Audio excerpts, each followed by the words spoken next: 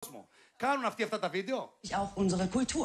Es bei den Griechen jetzt trotzdem nicht hinhaut, kann ja passieren. Dann ein konstruktiver Vorschlag jetzt für die EU.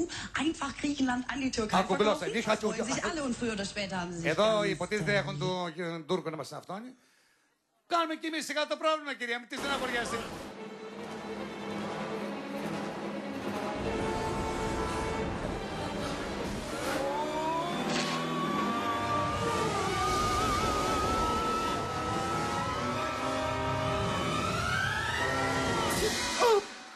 Όπα! Όπα!